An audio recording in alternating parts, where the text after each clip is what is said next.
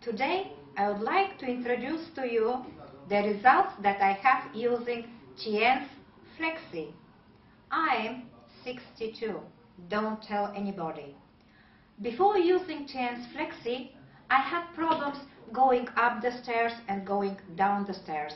My knees were not flexible enough and there was some special cracking sound and it was painful.